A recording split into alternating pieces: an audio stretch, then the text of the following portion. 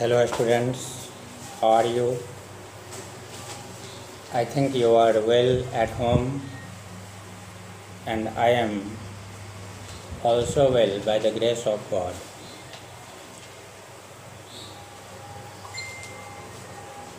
As we know that the running topic is falcon's fly and we have already studied uh, some story which uh, is referring in beginning. So the story is very very interesting and today we shall discuss uh, in details uh, from the king. Because before this uh, we have studied and understand uh, how the king uh, used to love to the living beings like uh, bird.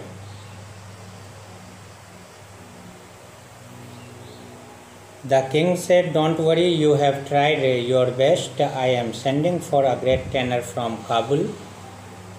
He will be able to train these falcons. According to the king's thought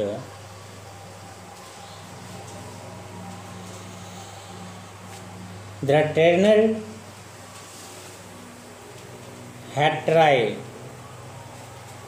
but uh, he couldn't uh, success. Uh, so without any doubt, I can forgive you, and I mean to say,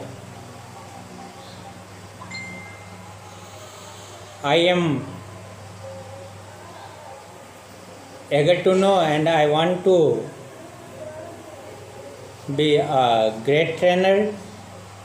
He is from Kabul,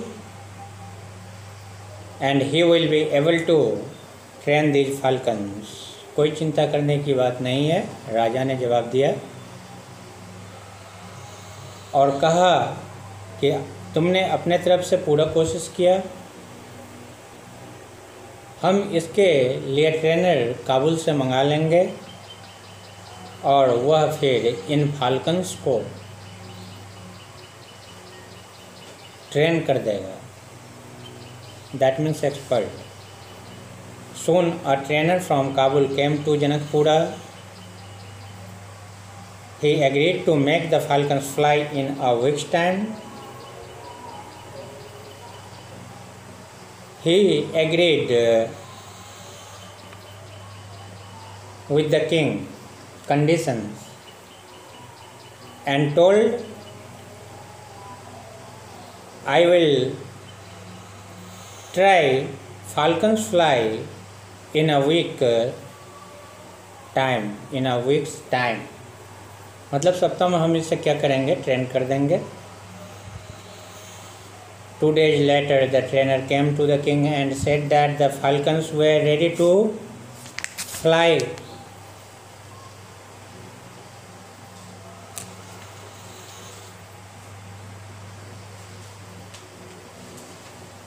Two days later, the trainer came to the king and said that the falcons were ready to fly. The king was amazed to hear the statement of the trainer.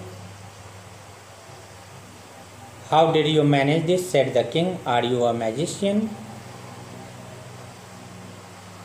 He became astonished. The king became astonished and uh, asked uh, from the trainer, How did you manage it? How did you manage this मतलब ये सब कैसे तुमने manage कर लिया? Are you a magician again the question from the king you are magician the trainer smiled to hear that no your highness he said ये तो आपकी बड़प्पन है. I am not a magician I am not a magician. I am just an ordinary bird trainer who understands birds. मतलब मैं musician magician नहीं हूँ, मैं एक ऑर्डिनरी साधारण सा बर्ड का ट्रेनर हूँ। और मैं बर्ड्स को समझता हूँ। The king was that means I know the habit of birds and what the birds want to tell The king was very eager to find out uh, the truth. He immediately started for the sanctuary to see if the birds had actually started flying. I think मैंने इसको शायद पढ़ा दिया था लेकिन one second फिर repeat कर दे रहा हूँ मुझे याद नहीं है सो अच्छी तरह से आप समझ लेना the king was very eager to find out the truth सत्य राजा ने सत्य को परखना ही अच्छा समझा। He immediately started for the sanctuary to see if the birds had actually started flying और उसने अपना, अपने कदम को सेंचुरी की तरफ़ किया मतलब सेंचुरी की तरफ़ चल पड़ा। यह देखने के लिए क्या बर्ड्स को देखने के लिए कि एक्चुअली स्टार्टेड फ्लाइंग और नॉट कि बर्ड्स जो है एक्चुअली में फ्लाई कर रहे हैं या नहीं? The king and the train walk to the sanctuary as usual the falcons were sitting on their favourite branch of the peepal tree जैसे ही राजा और ट्रेनर दोनों सेंचुरी में पहुँचे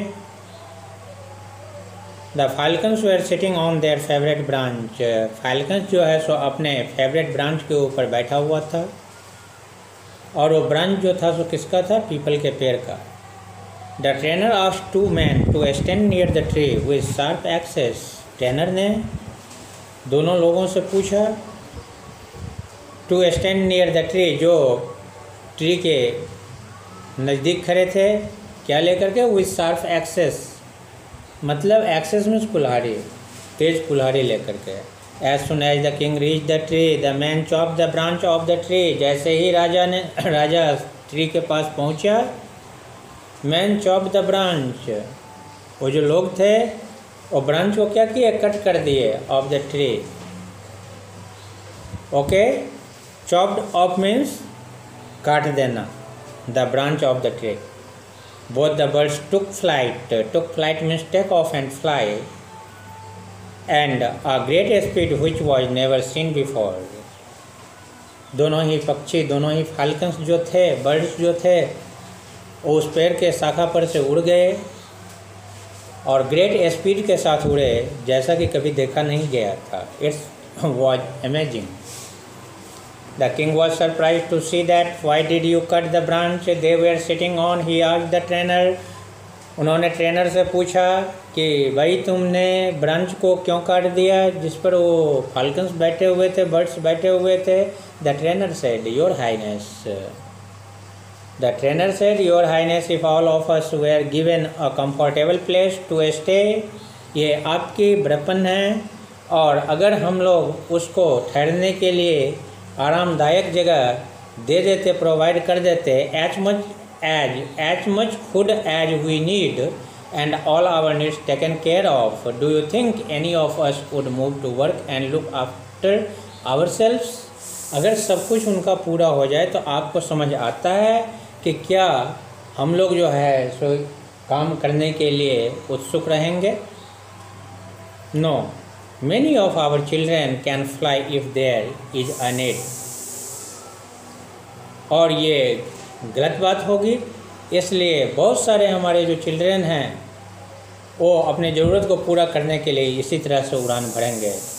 That is known as desire very very important line this is they don't because their parents take care of everything for them क्यों? क्योंकि हर एक इंसान को खुद न खुद एक्टिव होना पड़ता है। So it's essential for all of us and we can learn something from the falcons and we can to uh, we shall try to understand the condition and what the sentences means they do not because their parents take care of everything for them the king laughed and said राजा ने राजा हंसा और कहा you are so right you are totally correct and gave the trainer 100 gold coins और trainer को 100 gold coins उन्होंने दिया this is not for making the falcons fly यह उस पक्षी को उड़ाने के लिए नहीं but for teaching me a valuable lesson लेकिन तुमने हमें क्या किया कि बहुत ही वैल्यूबल लेसन बताया, पढ़ाया, समझाया? He said that's the story of falcons fly and reading comprehension you have to do match the columns first number one two three four five six seven you have to match from opposite sides uh, which uh, lines uh, make the complete sense uh, according to the story we have to think about because we have already studied the story of falcon's fly. And number b read the lines and answer the questions that follow. This is the question and very very important question and these type of questions uh, are three types question. Some lines uh, some points uh, are given from your text uh, and according to that lines uh, some questions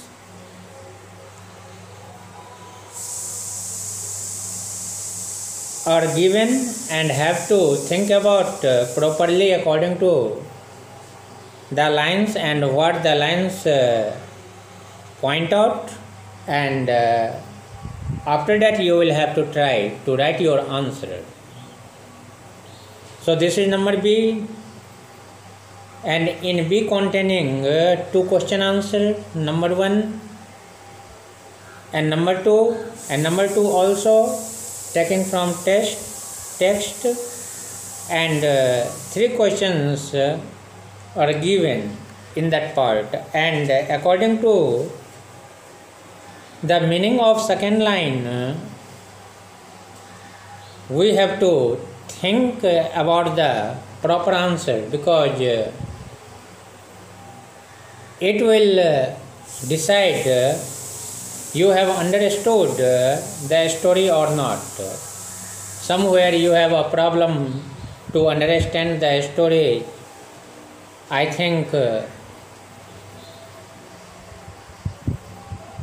you will have a problem you will have a loss. So try to imagine that and understand that and try to write the question answer and how you form question answer. Okay so this was the question from the text and some grammatical item is given and vocabulary is given prefix and suffix uh, you have to read. And also try to understand uh, how we can frame suffix and how we can frame prefix so firstly we have to understand the new words so in text vocabulary we have to read and understand. An affix is a letter or group of letters that is used at the beginning or the end of the word to form a new word मतलब क्या affix एक ऐसा word है जिसको हम लोग क्या करते हैं? एक ऐसा ग्रुप ऑफ़ लेटर्स है जिसका यूज़ हम या तो हम वर्ल्ड के बिगनिंग में करते हैं या तो वर्ल्ड के एंड में करते हैं। To form a new word मतलब एक नया वर्ल्ड बनाने के लिए। This is the definition of affix. But it is divided into two groups okay two part one is prefix and second is suffix so prefix uh, when ever we are used at the beginning of a word, it is called prefix, just like honest. We are telling dishonest. Dishonest क्या हो गया prefix इसमें आ गया word के पहले में आ गया डी आई एस तो ये क्या हो गया अपना? परफिक्स हो गया। तो हमेशा वर्ड के बिगिनिंग में ये ऐड होगा and that is known as the name of prefix and when an affix is use at the end of a word it is called a suffix. Suffix means कि जब word के and में हम